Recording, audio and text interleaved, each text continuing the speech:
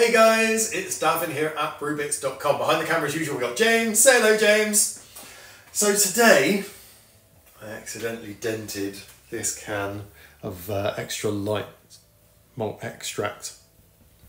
Oops. Um, so I thought I'm going to make something with it. So I've taken out another can of Muntons oat malt extract and I thought with these two I'd make a nice good bodied craft beer East Coast sort of style, lots of fruity tropical aromatics going on.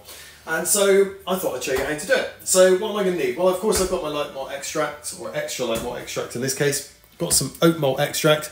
So this has actually got uh, malt extract in and oat malt extract. It's a combination of the two. Um, I'm going to be using the Mangrove Jacks Hophead M66 yeast and a couple of other things as well. Some pure brew.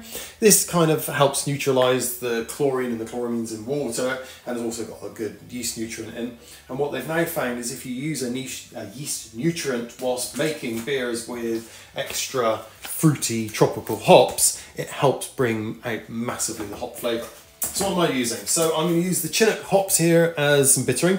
Well, I know I've got a 50 gram pack, might not use the whole 50 grams. Amarillo, I've got a 100 pack here, and I've also got some Olicana as well.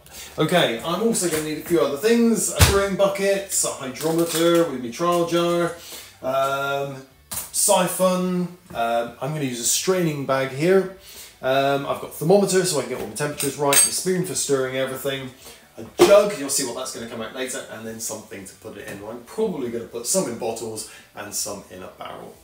Right, so now I've got all my bits and bobs, let's get brewing. The first thing I'm going to be using is a straining bag and I'm going to be using this for the hops so we can put the hops in and make them a bit like a, a tea bag so they can fuse and but we can get loads and loads of beer back. But what I tend to find with straining bags, although they are clean, I don't like to chance it and I think they can be the harbours of infection. So the first thing I like to do is with some cleaner steriliser into a pot small amount of water. Onto the hob. And like granny used to do with her socks many many years ago is put it onto the boil for a couple of minutes. Just to make sure there is nothing nasty in there. Right, now over to me a second James because whilst that's boiling up I'm going to take my two tins of malt extract because in here is quite thick, quite gloopy. And I'm now going to pour off a bowl of really hot tap water once I found my plug um, and put them in there to soak so that they become less viscous. So the cans are in the sink quite happily heating up. I'm going to need some boiling water. So I'm going to need about uh, two litres of boiling water to start with. So I'm just going to put the kettle on. The straining bags had a good couple of minutes in the sterilising solution, so I'm now going to just give it a quick rinse off, and it's very hot. Hot, hot, hot, hot, hot, hot, hot. Give it a quick rinse off because things in it. Okay, this is where our jug comes in. So I'm going to open my strainer bag and I've sterilised the jug as well. Pop that over the top. And I'm going to grab our, our Chinook hops in this one. Open up the Chinook hops, all 50 grams I'm going to use here. Because I want lots of those. Fantastic aromas. It's also got a good alpha acid as well. So we're going to get a nice amount of bitterness in this beer from these hops. And come on, in you go, all of them in. That's it, down you go. He's stuck. There's always one stuck, always one. Sweet. And I'm going to take my boiling water and I'm going to pour my boiling water over it. Now this is kind of like if you do a traditional one, you do a traditional boil. But of course we're not making a traditional beer here, we're making a craft beer. And if you see my no boil kits, you might have seen something very similar to what I'm doing now. So, with it like this now, I'm just going to lift it up a little bit. Oh, that is really hot. And I'm going to try and tie a knot in the top with it being really, really, really, really, really, really hot. Hot, hot, hot, hot, hot, hot, hot, really hot. Makes you wonder how these chefs can handle trays straight out of the oven. And then all I'm going to do now, when I get uh, a chance in the next process, uh, whilst we're doing everything else, is just wiggle it around a bit, a bit like you would with a tea bag. Right, so I'm going to put that to one side, and every chance I get, I'm just going to give it a good, good wiggle about, get all those lovely hot flavours and aromas coming out, and get some of those bitterness coming out and into the water as well. The malt extracts have had plenty of time to soften, and their labels are just coming off now. Oh well. There we go, take them off.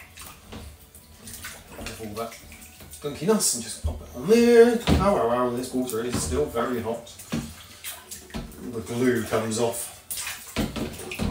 Almost impossible to get off before you soak them. Right, let me just do that. And now, I'm going to pop them open. Okay, so which one's this? This is the extra light malt extract. Oh, it smells like the centre of Maltesers. It's absolutely delicious. And there's one. And then we're going to go for the oat, oat malt extract. So as I say, this has got loads of oats malt mashed into it, as well as loads of barley as well. So you're going to get a lovely, good, thick body. And it smells very, very different. It smells almost, I suppose, a little bit porridgey, as well as being malty at the same time. Okay, so that goes in like that. Now, there's quite a lot of sugar in these kits, so this is why I'm not adding any extra brewing sugar. But there's also still a lot of malt extract in the bottom of these tins. So in with some of my boiling water. Ooh, I've lost my spoon then. Of course, it's in my bucket. And then, just literally in it goes, quick stir around the bottom, and just gently lift it up so you dissolve all the malt extract. The oat as well. Smells, it smells like a brewery in here.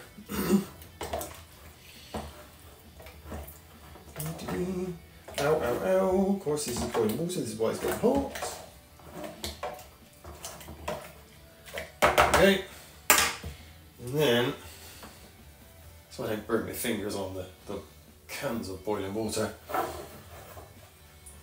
In goes the oats. It's not quite clean enough, so I'm going to probably do a second go on that moment. And let's put that one in as well. Yeah, let's have another go. So whilst I remember, a quick swirl around of the the hoppy tea bag. And then in goes the second one. I really clean inside there now. Here's the second one.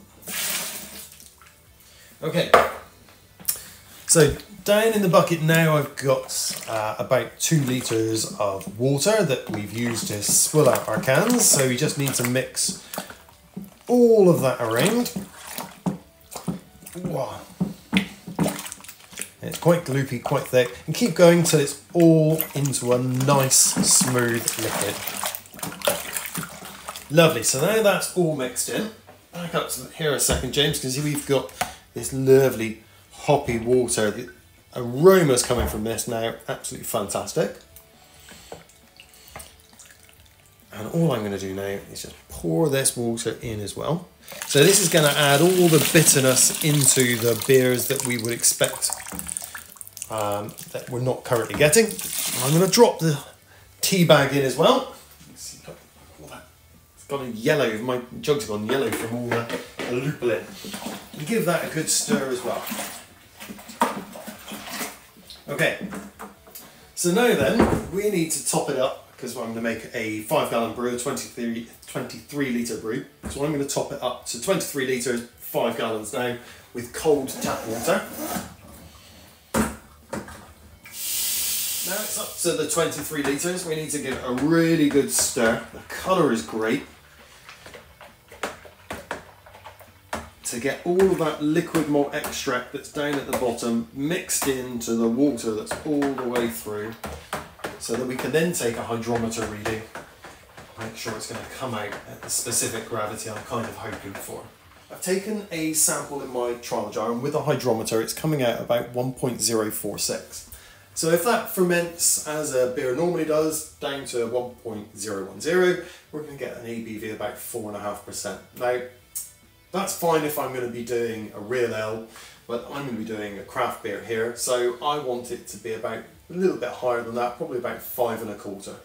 So I've done the calculations and I need about 300 grams of sugar to bring it up to five and a quarter ABV. But in my cupboard I've got uh, some spray malt that I've previously used, some light spray malt. And so I thought I would use this and it'll add that extra little bit of body as well and make sure it's really good mouthfeel and nice and um, thick and viscous just as I'd like my craft beer. So gently sprinkle this in whilst giving it a good stirring. Oh, I forgot I had the bag of um, hops going on in there as well. Nice and gently so you don't get massive great clumps. And I know in this bag I've got about 300 grams of spray malt from a previous brew. There we go. Keep stirring till it's all nicely in and dissolved. After adding the 300 grams of spray malt, we're now coming out at 1.050. So that's going to give me about five and a quarter percent. So that's where I want to be. Perfect. So I'm going to also be using this stuff here called Pure Brew. And in Pure Brew, there's a little bag of powder and there's some tablets.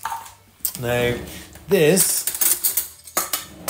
Pure Brew helps to neutralize the chlorines and chloramines that are in tap water and that's going to help prevent any off flavour. So all I'm going to do here is between two dessert spoons, give it a quick crush and here it goes like that.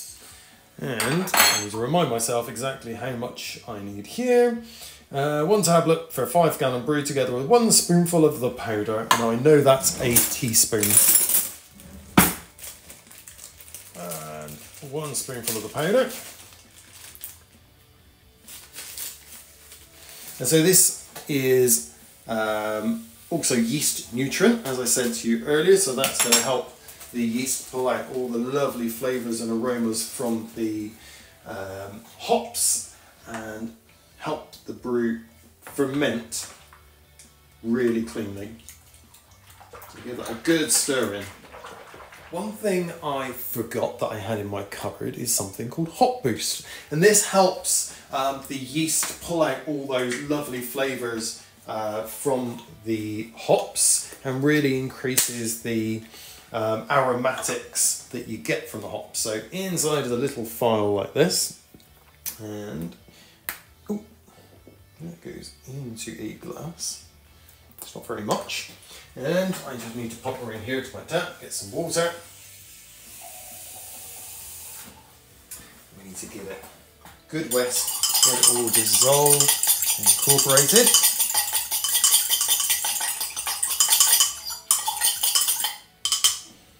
There we go. And that also goes in as well with a really good stir to get it all mixed in. And then the last thing is the hophead yeast. So I'm just literally going to sprinkle that on top. there we go. On goes the lid.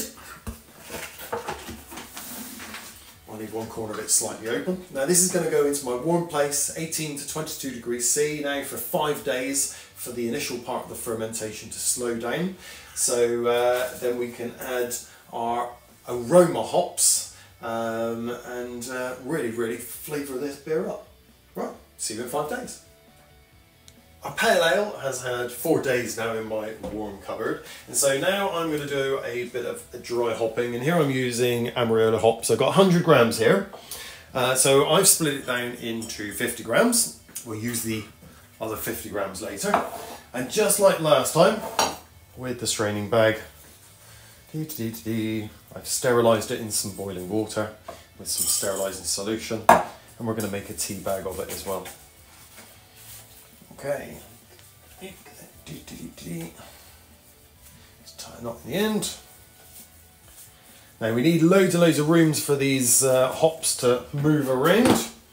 And oh my goodness, okay, you can see what's happened. It's foamed right up and this is all loads of bits of hops as well as uh, uh, bits of yeast. So that's all lovely in there. That's done its job for the initial bittering. So now this is going to come out. I'm going to give it a good squeeze. If you can see that, James, sorry, a bit wrong angled. Not too much, but a good squeeze and get all that lovely flavours out of that. Let's get rid of that. My top's going to go back on now. And now I'm going to put this back into my warm place, 18 to 22 degrees, for another two to three days. Come on in, James, and have a look at this. Because the hops we added uh, 48 hours ago to dry hop it have added loads and loads and loads of aromas. And now I'm going to try and get this open Lovely, look at that. Squeeze out some of that juice of the beer. Down here I've got a little bowl, just so I can do the next stages. So, okay, so this, I just put the lid back on to stop any bugs getting in. So this is our second lot of hopping, so second lot of dry hopping. This is using Olicana, so we'll get lovely flavours of mango, passion fruit, and loads of other lovely kind of aromatics coming through. So literally I'm just going to pop that in there with the others. Get them all in. And then the rest of the Amarillo, so we get lots of lovely orange, peach, grapefruity, citrusy aromas as well. And they're going to go in. So in total that's a 100 grams of Amarillo and 50 grams of Olicanas in there as well. I'm going to wrap this back up. Oh, the aromas are fantastic. And then that goes back in. Give it a give it a bit of a wiggle, it down in. Okay. So slightly different though. This is not going to go back into my warm place because they used to have done all their work. This is now going to go into a quite a cool place, about 14 degrees C and I'm going to leave it in there for four days and that's going to allow all those lovely fantastic aromas from those uh, hops we've just added in to really infuse into the beer and give us a really big huge citra florally um, Uh, hints and aromas so cool place now for four days about 14 degrees C my second lot of hops in the double dry hopping went in four days ago and they've been sat in there quite nicely doing their thing and oh the aromas are good. Lots of like mangoey, pineapple, citrusy aromas going on in there. So I've taken a sample in my trial jar and with the hydrometer it's coming out at 1.016. So a little bit higher than I was expecting. Remember I thought it was going to come out at 1.010. So this is where I now go back to my recipe book where I've written all the bits and bobs down that I've put in here and how I've done the method and I'm going to adjust it. I'll put a little note back to the side of it and say that the, uh, the final gravity was coming out at higher than I was expecting so therefore it's only going to come out at about 4.5%. So next time I do this I'm going to up the sugar, um, put a bit of dextrose in it as well as the spray malt and hopefully then we're going to get to our 5.5%. But for now, we've got 4.5% beer, which is good. Right, so down here, I've got a bucket and I've got a siphon. So I need to siphon the beer from the sediment into the second bucket. The first thing I'm going to do, I've sterilised my hands, is I'm going to take out the bag of hops. Now there's lots and lots and lots of beer in here, so I'm just going to gently from underneath grab hold of the hops from underneath and give them a nice squidge. And that gets all that extra beer out. But what it's also doing for us is all those lovely hop aromas that are in the um, lupulin are also going to now drop out and into our beer. So I've got a little pot here, so that's in there. We're done with those. In here, Yes, okay, I'm going to be using an auto siphon for once. Uh, right, first things first, make sure my tap's in the off position. Yes, it is. And with the auto siphon, in it goes, and a couple of quick little pumps, look. And the beer is flowing. Now it'll take me a couple of moments to siphon this off. So I think, ooh, I might use this trial jar of beer and have a sneaky sample.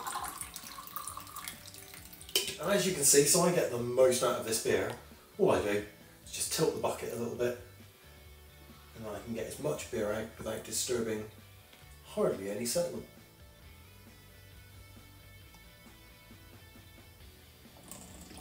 I think that is about it. Right, let's get rid of the pipe out here, so I don't need this one anymore. Anymore. A long one. We don't need that anymore. So that's off over there. There's quite a lot of sediment left in the bottom. Um, as you can see, there's not much of this uh, sample left. It's a great colour, um, considering all we've used are the can of oat malt extract, the can of light, extra light malt extract, and a little bit of spray malt, and a load of our hops. Lots of man really ripe mango, some perhaps stony fruits coming through as well, but pineapple, yeah, really, really great aroma. And body wise, it's got a nice body. Yeah, I think once we've bottled this up, that's going to be quite a nice beer. I've got 125 grams of sugar here that I'm going to use as my priming sugar because I'm going to be bottling some and barreling some. And so I'm just going to put the sugar into a jug with just enough boiling water. Doesn't very much at all. Pop it in and give it a stir until it's dissolved now. It should go lovely and clear.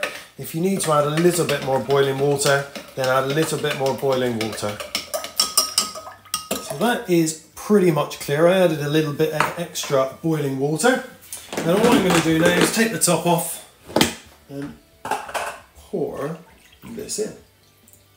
It just makes it a little bit easier to get this um, incorporated. Now it's a sugar syrup rather than trying to dissolve the sugar in the beer. So now I can bottle. Here I've got my bottling wand and I can put that either on the end of my siphon or in this case, pops it on the end of the tap. Turn it on, take a little seat. And I've already sterilised my bottles. I'm going to press up on the bottom of the wand and it starts filling. The good thing about this is you fill the beer from the bottom and it means you don't end up with froth. If you try and do this with a jug, um, you can end up with getting lots and lots and lots of foam at the top. You've got to keep an eye on it though because it will catch you out when it gets to the top. There we go. Right, that's one done. I've got a few more to go. Now if this was a real ale, I'd simply put the caps on and that's it. But this isn't a real ale, this is a craft beer and I want to keep this lush golden orangey colour. Now, if I just simply cap the bottles now, that small amount of air that's in there and that small amount of oxygen that's in there could actually turn that whole bottle of beer real ale brown. So what I've got here is I've got um, a little CO2 gas bottle, a regulator, and then one of these little bits which you normally fit on top of your, your kegs, a little post. Push that back up in. So a little shot of CO2, let me make sure that's off a second. Increase, decrease. A little shot of CO2 into the top of each bottle. Doesn't take much. Sounds like I'm paying the panpipes.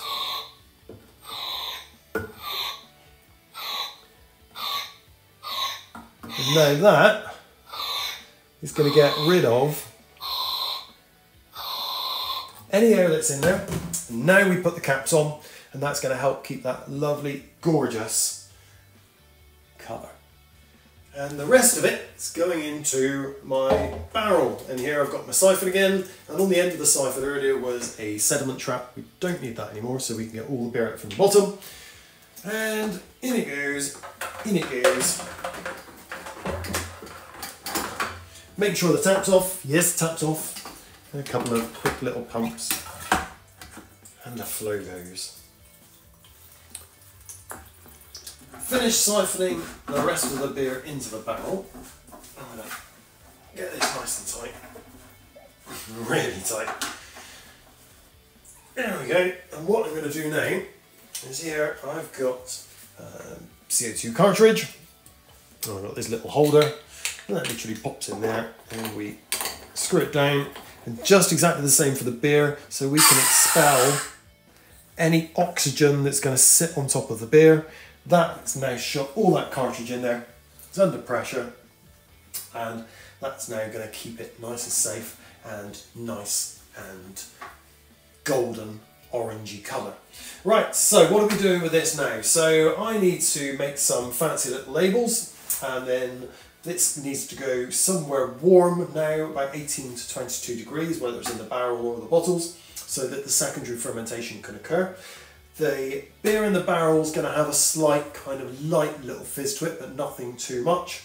And I'm hoping to get a good level of fizz in the bottles um, as well. So about 48, 72 hours in my warm place, and then we're going to put it somewhere cool. Probably my garage at the moment now is about 15 degrees C for it to bottle condition for about a week or two, and then we can pop one in the fridge, pop it open, and enjoy a nice pale ale, surprisingly with Muntons liquid malt extracts and then a load of hops. It's more about knowing how to do it rather than necessarily doing it from all grain. You can get a very, very good result with the liquid malt extracts because in this case Muntons have done all the hard work of um, making the wort and then condensing it down for you. So it's a good alternative, and we do loads of different um, cans of the malt extract. You've got extra light malt, you've got light malt, you've got amber malt, you've got black malt. So if you want to do, uh, or dark malt, I think they call it. If you want to do something like a stout, We've got wheats, um, you've got Munich, you've got Vienna, um, you've even got a sour one as well. Lots of different variations of the liquid malt extract, so you can make your own combination of beer in any type style you want. So have a look at them. Um, as always, down in the comments below, feel free to ask me any questions. Um, I'll try and get back to you and answer them. Uh, but for now, I'm going to enjoy the rest of this sample. Cheers for now, and happy brewing, and see you next time.